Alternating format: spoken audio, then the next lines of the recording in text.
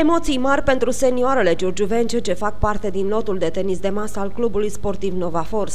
Acestea, împreună cu antrenorul Angel Corbu, vor participa în această săptămână în premieră la turul campionatului național pe echipe din cadrul diviziei A. Cu o medie de vârstă foarte mică, fetele de la Giurgiu speră să se claseze în primele șase locuri, având de înfruntat adversare puternice cu o mare experiență.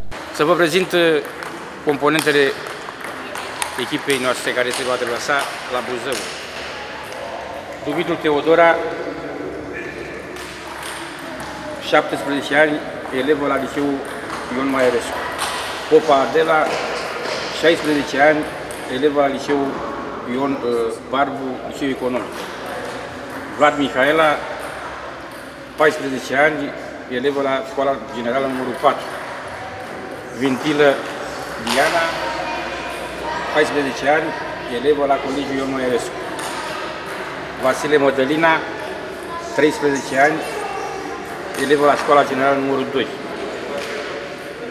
Și cele trei micuțe, cele mai mici, 12 ani, Mirea Bianca, Școala Generală numărul 8, Vișan Alexandra, Școala Generală numărul 8 și Sima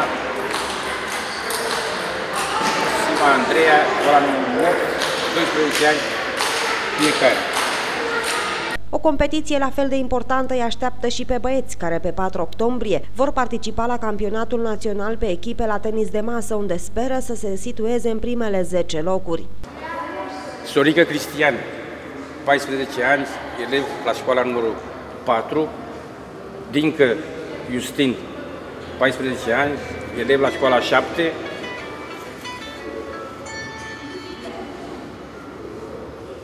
Ilie Ciprian, 14 ani, elev la școala numărul 7, Angel Cătălin, 12 ani, elev la școala generală numărul 4, Bădulescu Mario, 11 ani, e prins la lotului, elev la școala numărul 7.